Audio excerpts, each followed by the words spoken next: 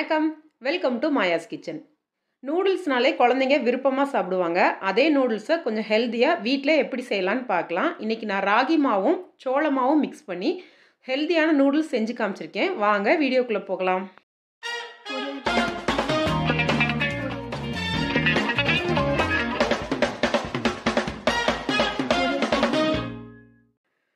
நூடுல்ஸ்க்கு மாவு ரெடி பண்ணுறதுக்கு ஒரு கப் தண்ணியை கொதிக்க வச்சு எடுத்துக்கோங்க. இதில் தேவையான அளவு உப்பு சேர்த்துக்கோங்க. இந்த தண்ணி நல்லா கொதித்து வரும்போது கேஸை நீங்கள் ஆஃப் பண்ணிவிட்டு இதில் நான் இன்றைக்கி அரை கப் ராகி மாவும் அரை கப் சோள மாவும் சேர்க்குறேன். இது எல்லாத்தையுமே சேர்த்துட்டு நல்லா கிளறி எடுத்துக்கோங்க. நான் கேஸ் ஆஃப் பண்ணிவிட்டேன் இந்த வெந்நிலே பார்த்திங்கன்னா மாவை நல்லா கிளறி எடுத்ததுக்கப்புறமா இன்னொரு தட்டில் மாற்றிடலாம் மாவு பார்த்திங்கன்னா தண்ணியில் எல்லா பக்கத்தும் நல்லா மிக்ஸ் ஆகிற அளவுக்கு கலந்து எடுத்துக்கோங்க.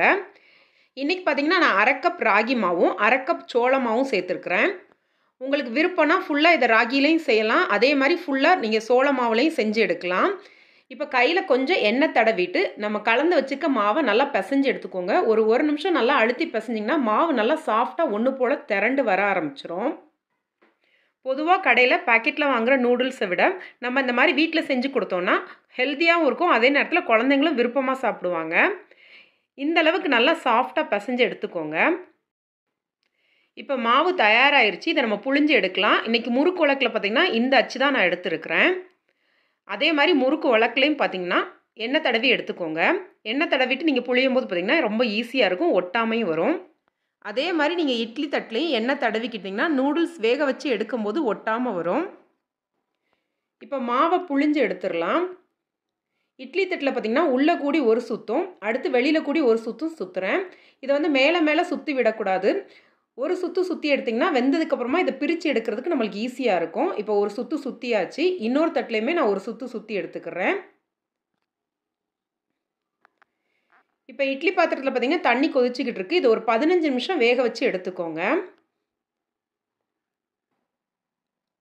பதினஞ்சு நிமிஷம் கழித்து பார்க்கும்போது நல்லா நூடுல்ஸ் வெந்திருக்கும். இதை எடுத்து ஒரு தட்டில் மாற்றி வச்சுக்கலாம். இது நல்லா ஆறுனதுக்கப்புறமா இந்த மாதிரி பிரித்து எடுத்துக்கோங்க. நம்ம ஒரு சுற்று சுற்றி இதை புழிஞ்சு எடுத்தனால நம்ம பிரித்து எடுக்கிறதுக்குமே ஈஸியாக இருக்கும்.